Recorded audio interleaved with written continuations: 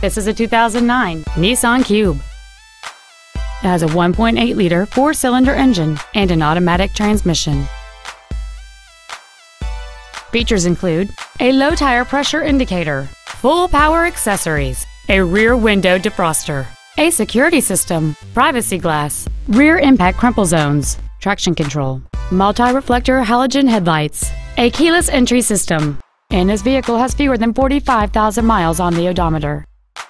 With an EPA estimated rating of 30 miles per gallon on the highway, this automobile does not compromise its fuel efficiency for size, comfort, or fun. Call or visit us right now and arrange your test drive today.